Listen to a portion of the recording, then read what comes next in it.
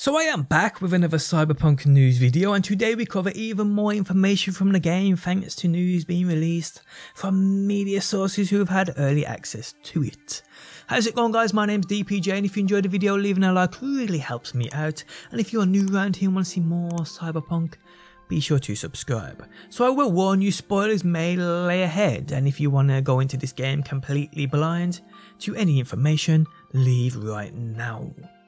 Okay, so a few days back I uploaded a video on the basis of GameSpot feeding us information on the game as they had had 16 hours early access. Today I cover even more information they have dropped, with also information being added in from IGN too.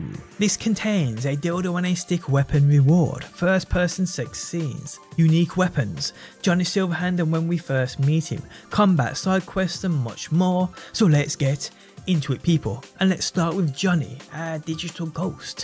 When do we actually get to meet him in game? Well I think now most of us know when he comes into play within the game and it's due to us installing a chip within our head which contains Johnny. And this happens after the prologue of the game which is said to be around 6 hours long.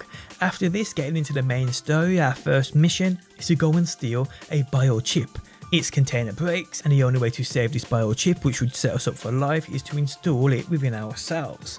This biochip opens up that path for Johnny to start taking over our bodies and well that's when we meet the rocker boy Johnny Silverhand. Now the relationship between us and Johnny Silverhand is somewhat antagonistic and influenced by our decisions.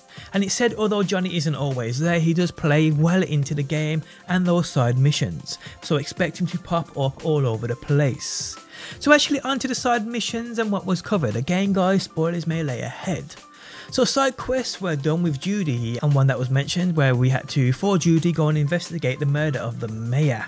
Another quest sees us tracking down rogue AI taxis. Now side quests are said to feel real organic and explore a large tonal range from extremely dark to light-hearted. And as we know guys, in a massive RPG game like this, side quests are going to be ginormous which is going to be cool. There was also word on mini games like a shooting range and much more, which I guess we'd expect in a game this big. Okay, so moving on, and they mention a few unique weapons, which if you've seen the weapons trailer, I think you would understand that the arsenal behind this game is pretty huge and diverse.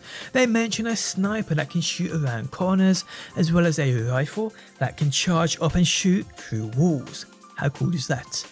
Now, one of the media sources mentions that they inadvertently launched a sex scene with a CDPR dev, and that quest reward was a dildo and a bat. So yeah, although we have big bad banging weapons, we also have dildos on bats. So if you do want to go pacifist style and don't want to shoot with guns, a dildo and a bat seems to work. Now talking about sex scenes, I covered what we knew a few days back, but we do go into a few more details today. So sex within this game is an option, I mean it's plastered all over the game, nudity is everywhere, but keep in mind though, if this is something you don't want to see or experience, there is a nudity filter which you can turn on which will eliminate said things.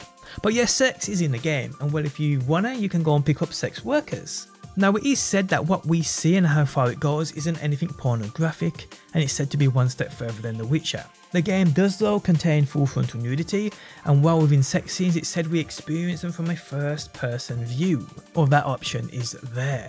Now other details, the world seemed pretty dense with people, buildings felt massive and almost all you could enter, cities and themes drastically changed from one to the other and you notice a big difference in style in terms of cars, clothing and much much more. When you die you go back to the most recent checkpoint, a pacifist run is possible although you still have to take part in combat, you do not have to kill anybody. But yeah guys, all in all, Cyberpunk 2077 is shaping up to be an amazing game. Now I have another video coming later, I'm just finishing off that, so stay tuned people. But yeah guys, Cyberpunk releases on December 10th, and if you're new to my channel and want to stay up to date with everything Cyberpunk, including guides and much much more when a game releases, make sure you subscribe. Guys, if you enjoyed the video, leaving a like really helps me out, and hopefully people, I will see you on that next one.